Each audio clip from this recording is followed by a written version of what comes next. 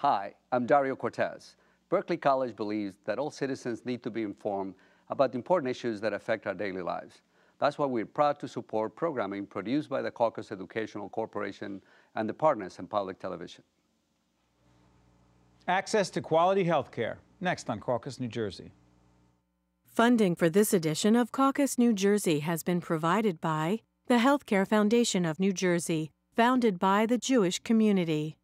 Horizon Blue Cross Blue Shield of New Jersey, making healthcare work. And by MD Advantage Insurance Company of New Jersey.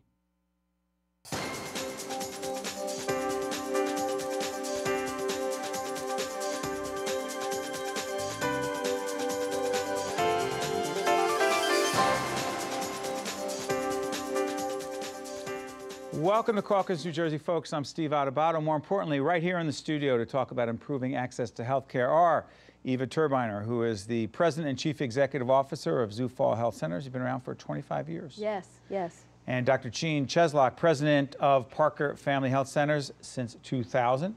Dr. Pamela Clarke, President and Chief Executive Officer of Newark Community Health Centers. And finally, Bill Lovett, Executive Director of New Jersey Alliance of YMCAs. I want to thank all of you for joining us. We're talking about um, this part of our Healthy Living series, access to quality health care. We're going to be morphing into a very in-depth discussion of childhood obesity because frankly, without the proper access to quality health care, that is just one of the many issues, correct, doctor? That is a byproduct of not having that access. Is that fair to say? And that is a byproduct of not having access, I believe in uh, a large account, Steve. Okay. We are looking to partner with uh, my partner right next door here, the Y, to address the issue of access to exercise programs, to nutritional programs, to just the whole uh, attack on the front end of care. Front end? Front end, mean? cheapest, before you have a disease, before you have a disability, before you are overweight, that is the time to approach the issue, not after the fact. It's awfully hard as adults to lose a pound, and kids, as you know, in unfortunate situations, uh, do not have access to the most uh, desirable diet. Hmm. Cheap food is cheap. Yep, let's, let's break this concept of access down. Um, is access tantamount to education. Is that what it is? Is, is education only a piece of access? Meaning, if I have information, education about where I need to go to get what I need to get to take care of myself and my family, is that access to health care or is that not enough? Well, it's one piece of Go it. Ahead. Certainly, uh, access includes overcoming other barriers. So, yes, you need to know what you need and where to go. You need to be able to get there, so you need transportation. You need to be able to have somebody who speaks your language. You need to have a way to pay for services. Um, and all of those are what really lead to full access to care. There also have to be providers somewhere in your community willing to see you. Speaking of providers, I promised uh, since you're all nonprofits, uh, if you were for-profits, we would not do that. Uh-huh. Uh, let's make sure we give everyone a chance to describe who you are, what you do, and who you serve. Go. Uh, Zufall Health Center is a federally qualified health center serving the low-income population of Northwest New Jersey. We've been in business for about 25 years, and we are now serving 15,000 patients with 46,000 visits in Morris, Sussex, Warren, and Hunterdon counties. Most of those folks with, without insurance? 70% have no insurance whatsoever. Most of the rest have Medicaid, Medicare, New Jersey Family Care. Dr. Cheslock, go. We are in business for 12 years in Red Bank, taking care of the uninsured only in Monmouth County. Uh, as I said before, we've, uh, or maybe I didn't, we've transformed from primarily an immigrant community to one that is now serving a majority of American citizens, which mm -hmm. I think is a reflection of the drastic change that's going on in uh, healthcare in America. Got it and important because you have also said, by the way, uh, I said you served 8,600 patients last year. You said, Steve, it's over 13,000. And the total number you've served? We're going to pass 100,000 shortly now. The need gets even greater. Dr. Clarke, go. Tell everyone yes. what your organization is, who you serve. Newark Community Health Centers serve um, Newark, the surrounding areas of Orange, East Orange, and Irvington. We have actually been in business for 25 years, Steve. And in addition to that, we have comprehensive primary care service to all of the people in those community. Right now, we serve 30,000 patients in all of our sites. Who comes in? Ah, people who have no insurance, people who have um, low income, and also we're now serving people who do have a job, but they are called people who don't have access to care.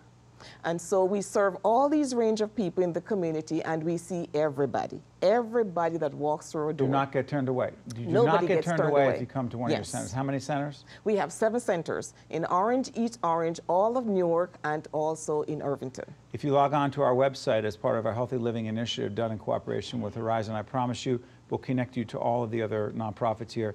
Go, Bill, because uh, I'm a kid who grew up in the Y and the Boys Club, and so the fact that you were connected to this initiative is fascinating to me because I'm thinking, look at all those kids and those families connected to the Y um, and the opportunity here. Go. So the New Jersey Alliance of Ys is composed of 41 YMCA's throughout the state, from Salem all the way up to Wyckoff in Sussex County.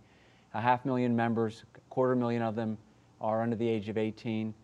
Uh, in New Jersey, we're the largest provider of aquatics, childcare, day camp, after-school childcare, and what I'd call preventative obesity uh, services um, uh, for both adults and kids, and have significant partnerships with both the Horizon Foundation and the Robert Wood Johnson Foundation. To talk about, by the way, thank you for teaching our kids to swim at the Montclair Oh, Y. you're welcome. Uh, I'd have to do that. Talk about the Healthy You initiative. What Well, is it? Sure. Well, we've had a relationship with the Horizon Foundation for about six years, and the Healthy You program is really an obesity prevention program utilizing the CATCH curriculum. Catch. CATCH. It comes out of the University of Texas, and it's, um, it's a program that addresses um, uh, exercise as well as nutrition and family involvement. And with the Horizon Foundation, we've, we, we've really done some innovative things. We uh, have the program implemented for 18,000 after-school kids at over 400 sites throughout the state. And that was our phase one. But now in phase two, we're doing two things that I think are really interesting. One is that we are doing a preschool CATCH program at all the Y sites in New Jersey. So that's 5,000 kids. And it's the largest preschool CATCH project in the United States. And then the second one, which I think in some ways could be more profound, is that in 50 public schools, we are partnering with public educators to implement the CATCH program in those schools.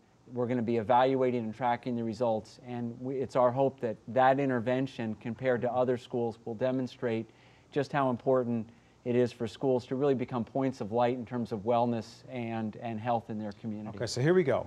I'm listening to each one of you talk about your initiatives, and I, I know of the work that each one of you are doing because we've, we've done some of this programming before, and I'm thinking, all right, look, look how great this work is. So we are improving access. We are providing access. There we go. We're getting it done. Right, Eva? Well, what goes on in the exam room in 15-minute visit is only a very small part of wellness. We know that there are social indicators and there's lifestyle issues, so that we know that when we get a patient into our exam room who has diabetes and or hypertension and other kinds of chronic illnesses, 62% of our chronically ill patients are obese or overweight. We know that there's tremendous complications, and Whoa, whoa, whoa, often I those are lifestyle Go issues. back to the 62% 62%. you're identifying the illness, diabetes, hypertension, Hypertension. and that goes back and correlates directly to the obesity issue? Absolutely, in a huge way, in a huge way. With kids and adults? These are these. This is over the entire population. Mm-hmm. Clearly, it's it's probably much more prevalent in adults. They're much more likely to be chronically ill. So therefore, the need to deal so directly with childhood obesity isn't simply, oh, let's deal with that obesity issue. You're dealing with a whole range of medical and health related issues, correct? Absolutely, and they are intertwined inextricably. Gene, why have we not made more progress in this area? It's a, a difficult, uh, complex question, but, but let me, if I could, get back to a point Sure. that uh, was raised earlier about education. Yes. And We- how important that is to it's- access. Absolutely vital. And I'll give you an example. In our diabetes program, most of these individuals are overweight, be they child or adult. This is at the Parker At the Family Parker. Health Center. We have over 300 patients in our active diabetes program. Our statistics measured against Medicare, Medicaid, and privates is comparable to or better than by clinical parameters, and we attribute it to education, empowerment, understanding of their disease, and active participation in their disease. And this, Steve, is Whoa, what do you mean to be actively involved or engaged in your disease? They have to know, and they're give back to us because we provide care for nothing Right. in this model, is compliance to the program that we set out for them, be it an appointment, be it medication, return for visit. And we have shown in a historically non-compliant population, everybody always assumed that the impoverished and the underserved were losers when it came to health control. They would not do the right thing. They would not do. What have you you know found? what? We have found out they are as good as or better than a lot of privates because they take it so seriously if you spend time and teach them. You find the same thing? Yeah, and you know, the other thing I was going to say is I think that as we look at the obesity issue, there's sort of two pieces. One is this issue of education and personal responsibility Yes, in creating support services. And the other is that one of the things you have to realize is it's not that all of a sudden we have a generation of parents that are just lousy parents, that we've succeeded in creating environmental and pol- environmental conditions and policies that make it much more difficult for parents to raise healthy kids. And things like uh, access to uh, parks, access to healthy foods in supermarkets, um, safe streets where kids can go out and play. That we and there uh, we could spend a, a whole show Hmm. So hold on on, this. time out, but- for example. Yeah. Uh, they go see Gene uh, at the Parker Family Health Center, or they go see one of Dr. Clarke's 7 centers, or Eva over at the uh, Zufall Health Center, and you start talking to a family about nutrition. And you say, you know, your family, and particularly your children, if you want to avoid uh, the obesity issue, they need to eat more vegetables, they need to eat more fruit. And they're looking at you saying, hey, wait a minute, there isn't a supermarket Right. in our neighborhood. Is that what you're talking about? Yes, absolutely, absolutely. So, okay, so otherwise known as urban food deserts. Yes. And by the way, is this, this is not exclusively an urban problem, I want to clarify that. Is it largely an urban issue? I don't want to jump around too much here. Is it largely an urban issue, but also outside of urban areas as well? Because your areas are exclusively urban, right? We're urban, and it exists in urban areas, but there's more to it than that. Because even though you may find that you, you don't have access to those healthy food in these supermarkets, there are places in the urban areas that offer these healthy foods, the, the, the vegetables and the fruits. But do people know to go and buy it? Go back to the education piece, because one of our partners over um, uh, at uh, Beth, Newark Beth Israel, Yes. uh, tied to the Barnabas Health, Yes. Mm-hmm. Health System, we've been to at meetings, you and I, been in meetings together with Dr. John Brennan, Yes. who heads up Newark Beth, and they've talked about their initiative in this regard. How hard it, it, in terms of creating nutritional programs and growing fruits and vegetables there, how hard is, to, is it to get that information out into the community so that they would know, parents would know? It is not a difficult thing to get the information out there. The point is that we have to make sure that the people who are getting the information out there has access to let people know that we exist. And so what you find is that with us for Newark Community Health Centers and Beth Israel, what we are doing is we're starting from scratch. We start by looking at people, young people who are at the age where they're engaged in activities that's going to result in children. And Right. so what do we do? We try to get out for people to come in and take care of your health, do pregnancy testing to make sure that uh, you're pregnant if you're not pregnant. If you're pregnant, you need to come into the health center to start looking after your body. So we have centering programs through the Healthy Start program funded by the state, and we move people through that program so that they go through your pregnancy understanding taking care of yourself will result in healthy children. I go one step further. When it's time to give birth, we do our birthing at um, Newark um, at Beth Israel.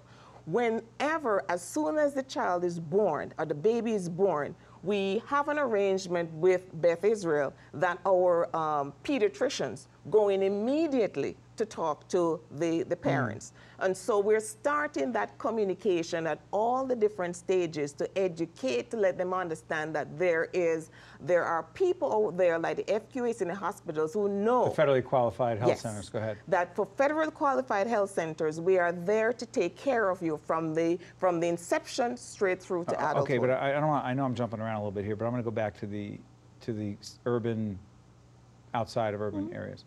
Eva. Well, you deal we- with the population cover- outside of urban areas, go We ahead. do. We cover uh, rural areas of Warren and Sussex and Hunterdon counties. Uh, Morris County doesn't have a great transportation system either, and we know that people have a really hard time getting to uh, supermarkets that may have fresh fruits and vegetables. And yeah, you might say, well, okay, they have enough land to grow a garden, but Right. once again, they need to, if they're renters, they need to have landlord permission. Um, they need to know how to grow a garden.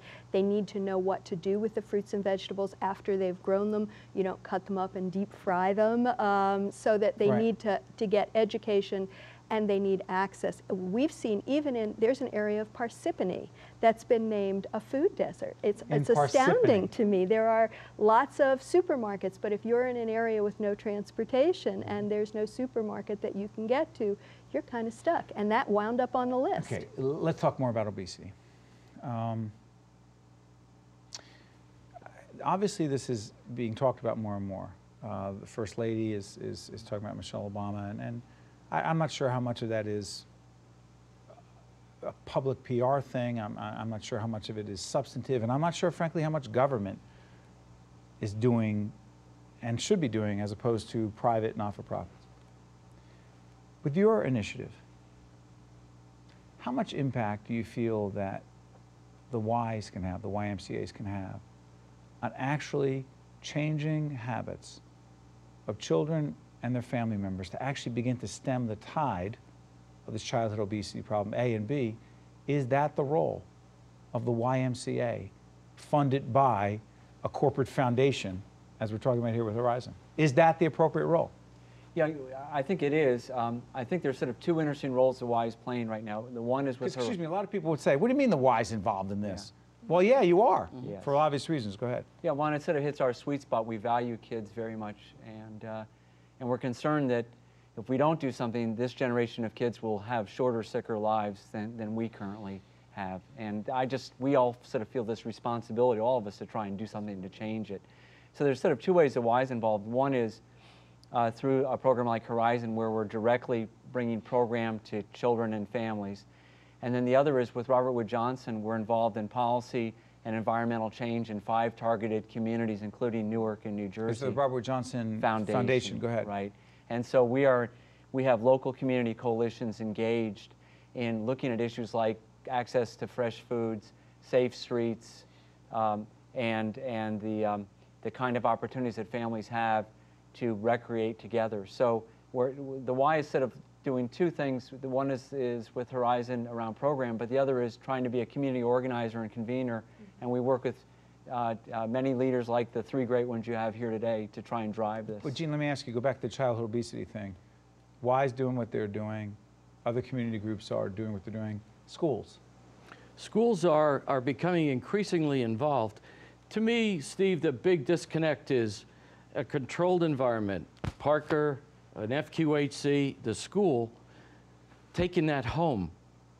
There has to be a, a conduit that's continuous. The home. You got to take it into the home, and somehow we have to, and I hate to say this because I'm not a it. regulatory guy, but we have to try to influence rather than regulate the home environment so it's consistent with the message that the kid is getting in a controlled environment during the day.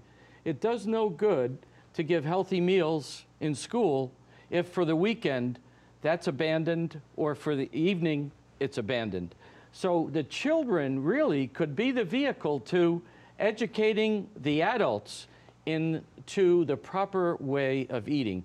Kids are immensely underrated in both their skills and what they take in and how they can change lives. So to me, that's the attack, is on the kids. And, and let me ask you this, the role of the media. And I, I, I don't want to turn this into a commercial, and we will not, for, for the folks at Horizon, but we are able to do this because of grants from them, the Robert Wood Johnson Foundation, and the others who you can see underwrite this program. But I often wonder about our role, the role of the media in doing this. Um, and I've seen public service announcements that you've done on this as well. What role do you believe the media has to play just in terms of childhood obesity? I mean, I haven't seen a whole range of public service announcements and spots dealing with childhood, childhood obesity where we in the media are giving free airtime.